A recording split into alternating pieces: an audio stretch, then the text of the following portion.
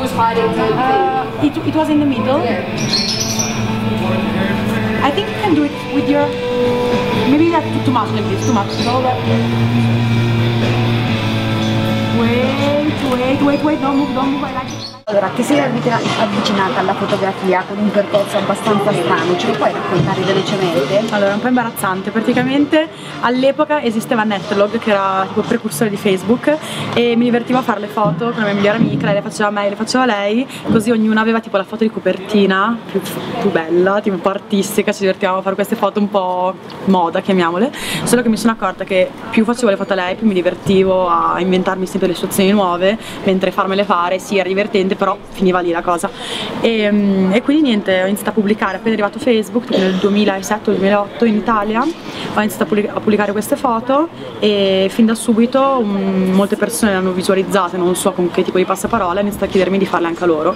E, mm, e quindi niente, fin da subito ho iniziato a ricevere in casa eh, tipo dei completi sconosciuti e quindi mio padre si ritrovava così con delle ragazze mezze nude che giravano in soggiorno e facevano le foto letteralmente contro un fondale, non un fondale, il muro del soggiorno, spostavo il tavolo di lato e facevo le foto del soggiorno per tipo due anni fino a che non ho messo da parte abbastanza soldini per, per comprarmi prima un fondale di carta, poi dopo le luci un po' più carine, una macchina fotografica professionale, praticamente ogni mese mettevo insieme un pezzettino in più, un pezzettino in più, un pezzettino in più fino a che dopo quattro anni ho mio studio fotografico e è un, po più, un po' più serio adesso.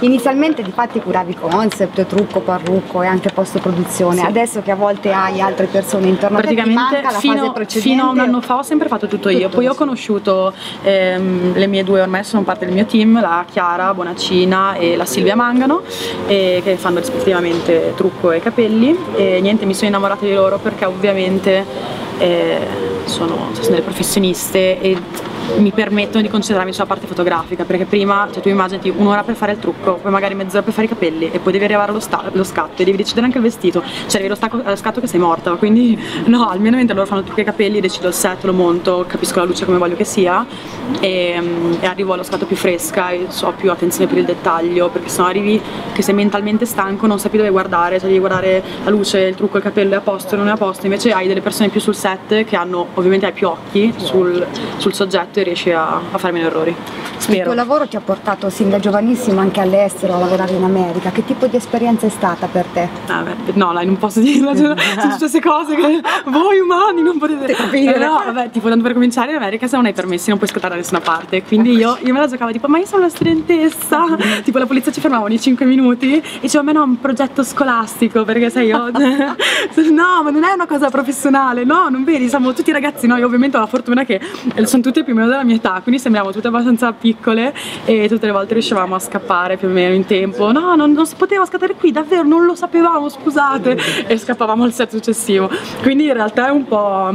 Più difficile, diciamo. Non sempre così, però ci sono certi momenti, cioè, dipende ovviamente, a volte era tutto organizzato col permesso e si poteva, altre volte che volevamo andare a scattare letteralmente Times Square.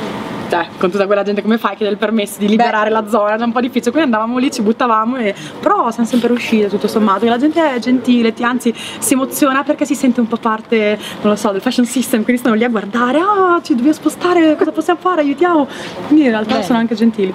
Tu hai lavorato tanto anche con i fashion blogger, no?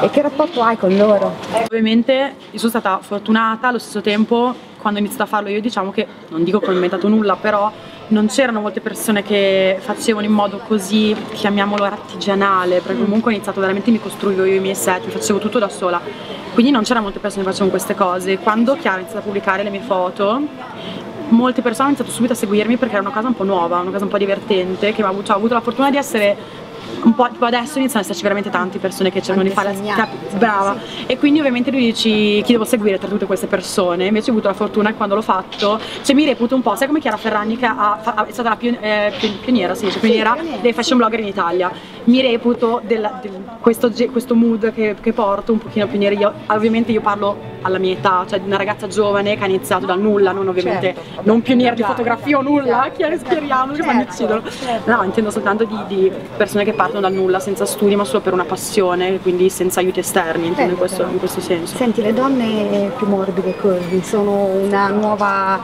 ehm, L'ho appena fotografate, non mi dire che non, non, mi dire che non fotografo le dalle curve perché l'ho appena fotografate, No, no, bellissime due gemelle. Infatti, le ho viste sulle... Ah, ok, bene. E ti volevo Bene, dire che ok. sono anche nuovi modelli ispiratori per la moda, secondo te potrebbe esserci spazio, Allora, io margine? sinceramente, adesso non so se dovrei dirlo, so- sento che sono un po'...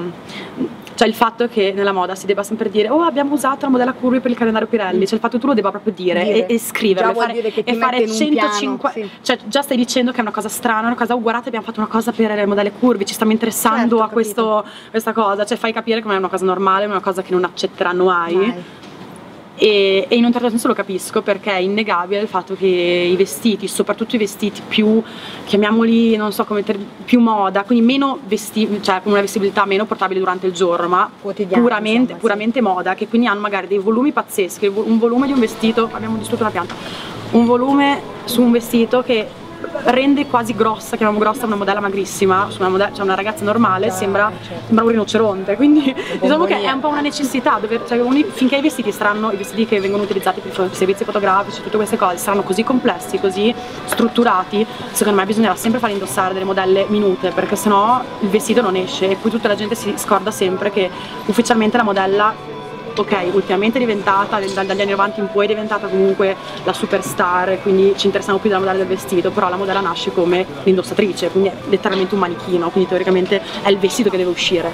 Certo. E quindi se una modella è tutta curvy, sexy e qua di là, guarda caso le modelle sexy e curvy le usano per i bikini, che si deve vedere il corpo, no? Eh, invece Fra, le fra tutte le campagne pubblicitarie che hai fatto, qual è quella che ti sta più a cuore? Questa è una domanda terribile. Terribile. Tu non sai Oh, qua. Cioè, mi vuoi proprio uccidere, dico, non vuoi, vuoi che mi licenzino.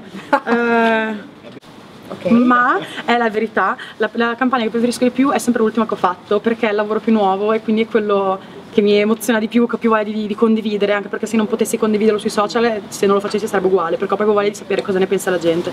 Quindi giuro che la risposta vera è l'ultima che ho fatto, è sempre la mia preferita. Cosa?